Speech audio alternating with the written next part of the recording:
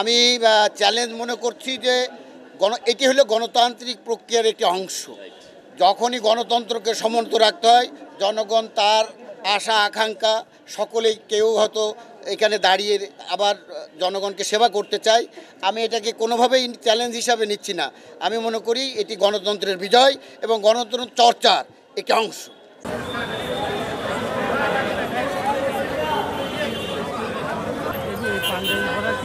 জামান না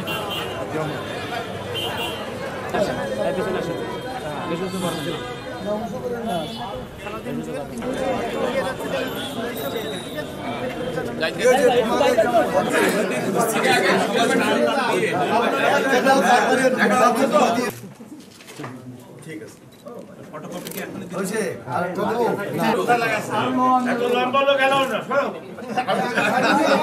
ভাই মেয়েরা কোন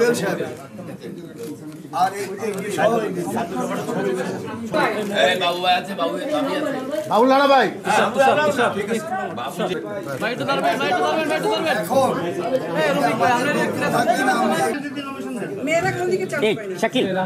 কাজল ভাই তো ডুয়ে দিছে আমি গেলবো